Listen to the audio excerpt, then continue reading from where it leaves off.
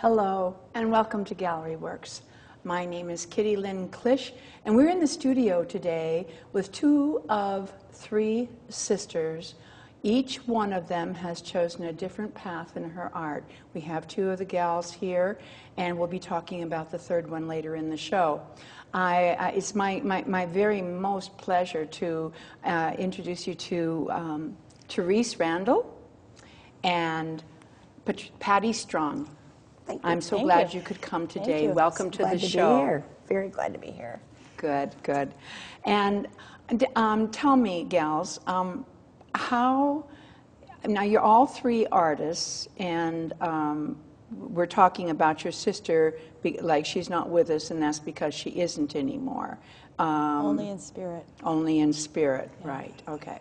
So, uh, but how how did the three of you gals get started in your particular forms of art? Now, Teresa, you Therese, you are a painter. You work in oil and acrylic. Yes. Patty, you work with fabric. And I also paint. And you, oh, you also paint Yes, too? Oh, oh, okay, I didn't realize that. And your sister's name was? Sue. Sue Sue, Rupp, yeah. Susan, okay. Uh, what medium did Susan work in? She worked in oils and acrylics and mostly in pencil. Mostly in pencil, Yes, okay, all right. yes. And um, now I want to, uh, I want to know, how did you, how did you, I mean, as girls growing up, did you all like while other kids were playing go fish and old maid were the three of you creating? Well, we played Go Fish and Old Maid too, okay but but but we had something, and I think we all noticed that other children couldn't do what we did. I can remember being in kindergarten, and we were all told to make an animal drawing, and I looked at all of them and thought, why don't the other children's animals look like what they're supposed to look like? Mm-hmm. Because I drew a zebra, and my zebra actually looked like a zebra. Mm-hmm. So w- we knew from when we were really, really, Really young, young. Yes. that you knew that you, you that had we had something. Yeah, we had a gift that other people didn't have. yeah yeah And I assumed we. I thought, almost till I went to college, that I thought everybody could paint and draw. It's just that they chose not to do it. I didn't know mm-hmm. that they couldn't. Yeah. Mm-hmm. because it's like all of our family, my aunts, my mother and my father were both very talented, you know, and very oh. artistic. Yes. My grandma did china painting, and they had a ceramic shop, and there was nothing they could not paint. I mean, it was just Okay. amen- it was amazing. But growing up around people like that, everybody in our family did that. Right They were very artistic. So Right. Are, are, you're, you're, you're from this area, Yes. right? D- And you were born and raised in, in the, uh, the St. St. Nazianz, Manitowoc area. okay, St. Nazianz, Mm-hmm. Manitowoc area. Yeah. All right. Um, that, that's so interesting because it's something that sounds like it's been passed down generational. Oh, it had, definitely. And uh, that, I, I, with that type of being in that type of environment, that would be very inspiring to a young child, Oh, especially wonderful. the really young child when you were really young. It That was just be, wonderful. It was Right. absolutely wonderful. yeah. And and we we were like our aunts always encouraged us, and it's like there's there's nothing you can't do. Mm-hmm. You know, so when I was little and I would say I wanted to be an artist, you know, people. Well, actually, when I went to my guidance counselor in high school, I said I wanted to be a painter, and she said, "What are you going to paint? Houses?" And she had, yeah, a lot of encouragement there. so, but it, you know, it wasn't we didn't we didn't think that it wasn't possible that we could do what we wanted to do. Hmm.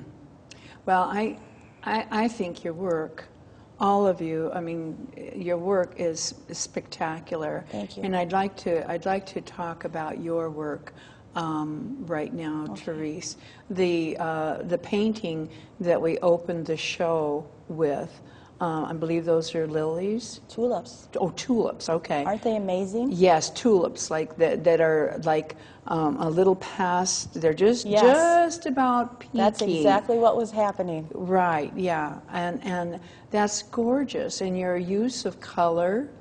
Um, now, did, are these tulips from your garden? I actually went to the meat market in, in St. Cloud, and the woman there knows I'm an artist, and she said, You have to go over to my house and see my tulips. and it was right after a rainstorm, and it was still gray, and, and the wind was moving them around, and I oh, thought, Oh, yeah. Oh, they're so beautiful. And I took a bunch of photographs, and I went home, and the photographs, was like, I have to do a painting of this. Sure. So that's how that happened. Yeah, and you can, and I, I see what you mean about, uh, you know, a windstorm and rain and everything because that's the way they look. They look like they've been, you know, disturbed. Abused and- a little bit. yeah, yeah, and, and, and, but there's, but it creates a movement Yeah. and an energy in the painting. Um, you know, they don't, it, it, it's just beautiful. And, and the other thing that strikes me is this gorgeous um, complementary color that you have put in that makes the, the tulips pop. Um, very, you very taught me good. that. I did. You taught me that. Well, thank you. it's beautiful. That that is truly Thank you. beautiful. I love that painting. Thank you. And um, okay, and then we over here we have an elk, yes. right? Yes. Okay. Um, tell me about that fellow. Um, He's my, really beautiful. my husband uh, and brother and a couple other guys went out to Montana hunting, and I just went along for the experience. I used to hunt. I can't hunt anymore. It's too difficult for me. Is it difficult? Why is it difficult? I'm not going to give you the answer. It's it's hard for me to see something living, and then me be the one that stops that.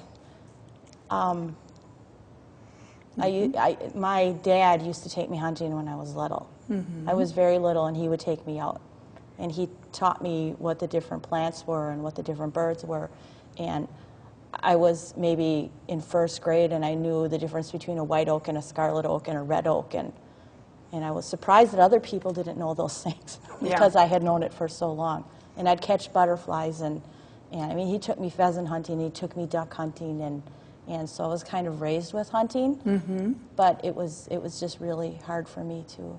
At that, that, at that point that you realized how beautiful they are. Yes. alive and in Yes. motion. Yes. I and then I, I just, I couldn't, I couldn't do it anymore. All right. Well, back to this fellow here. Yes. What's the story on him? So we, it- it was interesting. We were out in Montana. There's a snowstorm, and we were driving into this place where we were supposed to be hunting, and it was just like the Hartford commercial. There was this big elk standing on top. That's what I, I, I mean, because I'm visual, and I'm sure you know too. Right. You picture things. I have all these photos and movies in my head, and it's like there was the Hartford commercial, and so some guys went this way and some guys went that way, and and he got to have a big elk. I wasn't. I know it's a really, it's a really difficult thing. you Yeah, know? they're yeah. very excited about doing this, but Yeah. now he's alive always. Yeah, exactly. And um, I, I, you know, don't, don't misunderstand me. I, Mm-hmm. I'm not critiquing your paintings, but I, I just, you were my student once, and, Right. and I just need to reinforce and point out to you the really strong composition here. Therese, you really nailed that, competi- uh, that composition. Thank you. I, I, I love it. I mean, it's so strong. You give us just enough information that we can feel the moment, Mm-hmm. and yet, you know, there's still things about it that we don't know. And I, I really like that. That's Thank- a very thank you. beautiful I- painting. I, won the Robert Hoyle Award with that painting. oh, good So- for you, girl. I know. I was like, I don't get it. Why did, it was that so? I mean, for him to get. I mean, I, I was just, I was, I was just so surprised I didn't understand what he Well, saw. now in you know why. Now I know. now I know. I want you to take your mic, honey, and, and make it come up a little bit. It's kind of, yeah, there we go. There we go. Thank you. Yeah, Um, because I want to make sure you're heard, okay. All right, and then we have this piece here with the cardinal. Which I just finished. You just finished? Yes. Oh, Okay. Oh, I, I forgot to ask you, the, the tulips, are they oil or acrylic? That's acrylic. Acrylic. And the moose? That, uh, Or the elk, rather? That's oil. That's oil? Yes. Okay, and this one? This is acrylic. Acrylic, okay. Yes. That is just gorgeous. I, I was so inspired. There was so much milkweed this year, although I didn't see as many monarchs as I usually do. No, I only, didn't I only found one monarch caterpillar this year. But the milkweed was so fantastic, and the purple asters were amazing, and, That's beautiful. and I, I just, I love this time of year. I just want to stay home and paint at this time of year. Exactly. The color, well, you know, the Yeah, colors are, Yeah, exactly. and the way yeah. the light plays in the trees, and Well, what's so beautiful about this is this this vignette feeling that we have because we have the cardinal in beautiful, beautiful detail, and it's obvious that he's the focal area um, in in the painting, you know, and the things around him are, you know, crisper looking and they're coming forward. And then there's this great sense of distance. I mean, it just looks like you could just go all the way back, and yet you did that without giving us too much detail. And that is the secret to creating space. And, you know, a painting should be like a window. You should be able to look at a painting and feel like you can go inside the painting and that you you've captured that feeling there beautifully Thank you. that's very nicely done Thank, thank you. I sometimes don't know. We never went to school, Mm-hmm. so you're self-taught I learned by just taking that one class from you Mm-hmm. some technical things that I had never been taught. sure And sometimes when I'm painting, I just have colors laying out, and I just well I don't even know sometimes how I know how to do it. you know there's a certain point where it becomes intuitive Yeah. with a painter. And I think that I think that's very important to know that to trust your first gut reaction to something.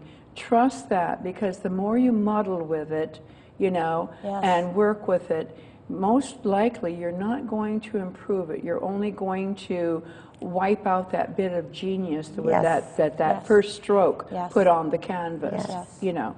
So We've talked about that many times. I'm like, I just had to touch it one more time and I messed it up. Well, there you go. Right. You know, if you just yeah, yeah, exactly. knowing when to you know. back off is Like with my classes, you know, I tell my students, okay, it's signed and you're going to take it home.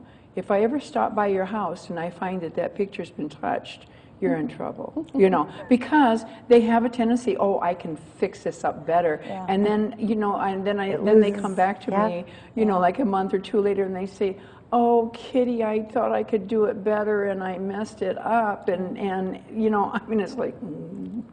I know. anyway, you know, leave it alone, you know. And, and the older I've gotten, the more I've learned to trust that. yeah, where it's like, okay, this is good. Because I thought about doing more to it, and I'm like, no, this is good. Just let it alone. right, right. It, it almost tells you when it's done. yes, it That's what does. Susie, it does. Susie used to say tell- that. That it tells picture you will tell done. you when it's done. Exactly, Patty. A, a painting will talk to you. Absolutely. It will tell you what you need if you're in tune to it. Absolutely. And it will tell you when you're finished. Exactly. It- uh, exactly. Exactly.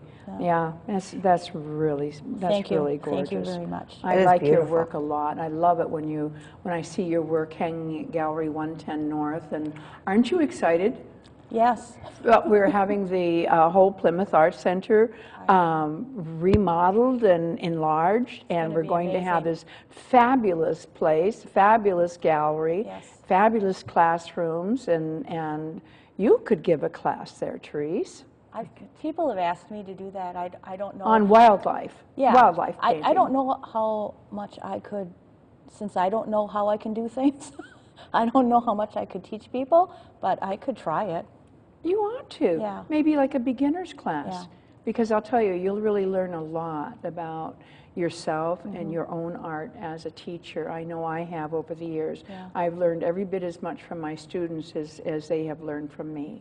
You know, and so that's uh, it would be a good thing for you, honey. It really would be a Oh, beginner's class. There. Yeah. beginners have no place to start, you know, Yeah. and it would be a good, a good idea to think about. Okay. And Patty, we're not ignoring you. Oh, know. Tell us about this quilt, honey. This thing is gorgeous. quilt is called Trees, and it's basically a root ball. And um, those are all strips that are hand pieced and appliqued, every little one of them on there. And um, it's like my sister Trees. Is this my trees? Yeah. Is my trees? Is my trees? She said that. Because she's such a she's such a grower of things. I mean, goodness and kindness and Vibrant. friendship and, and love, and she's just the best. So I said, I made trees for trees. um, and it's basically the same thing I did with, with painting as with the fabric. I never know. When I see a piece of fabric, I get inspired. And I can see it. I do custom garments and stuff too, and I, I see a piece of fabric and I see it in a finished product. Mm-hmm. And that's like I said, with the, just like with the painting, it, t- it tells you when it's done. Uh-huh. I always tell them, they go, well, what are you going to do with that? And I go, I don't know, it's just going to start and it just starts to grow. And I start to get ideas. And then as it gets, as I add on to it and it gets bigger, um, I never know how big some, some of them end up being king size, some of them end up being small. Right. But it tells me when it's done. But they're all signed and numbered. I sign and name and number each one of them. I have 137. Oh my. Well, are they for sale? They're all, they're, I've got four left. They're all, they've all been sold. Oh my gosh, honey. Yeah, they That's just fabulous. Yeah, they sell like I don't get them done. I don't get them done fast enough. It's like um, just word of mouth, and there I have a local little store that carries my stuff. Mm now, what's the name of the store, honey? It's called um, As You Like It, and it's part Like of It. uh, Kramer Pharmacy in downtown Fond du Lac. Okay. Um, and my children's dresses, I make children's clothing. Oh. Peter Rabbit dresses and and custom painting on little Easter dresses and specialty Christmas oh, dresses with little matching hats Yeah, as you and like stuff like it. that. Mhm. Okay. and I do custom children's furniture too for like little children's bedrooms and stuff Yeah. like that. Well, that's real. That is really nice. And then she also carries my quilts, so it's nice as I do.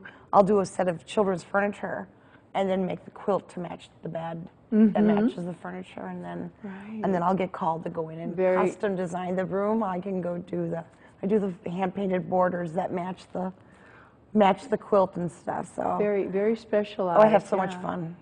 Oh I- yes. somebody asked me the other day, "What do you do for a living? What do you do? Where, where do you work?" And I went, "I haven't worked a day in my life." they go, "Well, what do you mean?" I said, "Honest to God, I have not worked a day in my life, and I swear, it's like if I had to go tomorrow, I have had the best life and the most fun, and have been able to do my art my entire life, and have been able to be content and happy with it, and I just." I just couldn't have a better gift than, than a sister like her and a sister like Sue and, and the kind of gifts that our parents gave us has just been wonderful and meeting people like you and getting to do things like this. I mean, art is such a gift to a community yes, yes, it is. and, um, you know, such a w- wonderful place that it takes you right. about yourself, teaches you about yourself Right. and about, you know, giving to others and, and just the amount of joy that it brings. I uh, years ago, um, I had a, a, a um, uh, an art instructor who was very famous, and I was just when I, I took one of her workshops, and when she came to to me, I couldn't breathe. That's how much I admired her. I, I couldn't I couldn't breathe, and um, and then she came out with a book, and um, and I went to that lecture, that book signing, and and she wrote in my book, "Art is a beautiful place to live." Oh, isn't it And just? I have never forgotten that. And what you've just said sums that up so beautifully. It is. Really. It's like people come to my home because I'm like a little um, bohemian. I've been I've been called a tad gypsy, but my my house is just my it's just my it's like it's art. It's just like I have it on the walls. I have it on the ceiling. I have it. In, Well, that's well, that's the way it should oh, it's be. just wonderful. My house is just wonderful. I just Yeah. I and I just love it. I love well, it. sure, sure, because you're in your environment. Oh, absolutely. yeah. That's- absolutely. That's, great. Um, Susie. Susie, Susie, our dear sister. your dear sister, Yes. and how long has Susie been gone? About three years. Three About three years. It was the Fourth of July. Fourth of July. The Fourth of July. Three years ago. Um, without getting too personal, um, may I ask what happened? She was four wheeling in the mountains of Colorado, and uh, the brakes started going out on the four wheeler, and they were headed for a deep ravine. And she got scared and she jumped off and she hit her head. And, but the, the, the guy who was driving the four wheeler, um, he tried to stop it and he couldn't. And so the four wheeler did go over the edge. And when he came back and found her, her two dogs were laying alongside of her. And she was gone. And there were three missionaries there praying with her. So uh, just, I, I know she's okay. She was a wonderful, generous, super, super funny person. And uh, Very talented. very extremely t- she was she was a very very well known artist in colorado um, That's where she was from. yes Colorado. yes uh, she had moved out there probably 25 years ago um, Yeah. had a lot of good friends out there uh, she just so generous so generous but very And- very talented And what, what type of, of art did was Susie Uh, inclined to? she loved horses she always loved horses Did she ride? She loved riding. In fact, when she was little and people asked her what she wanted to be when she grew up, she wanted to be a horse or a dog. That's adorable. Uh, this is a portrait of the Budweiser Clydesdales.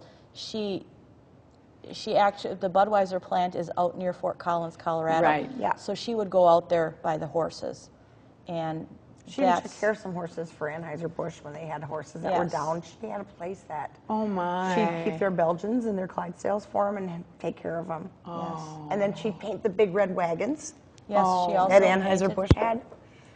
You know, I would see those commercials on television, Yes. and I always wished that I could have access to that scene painted.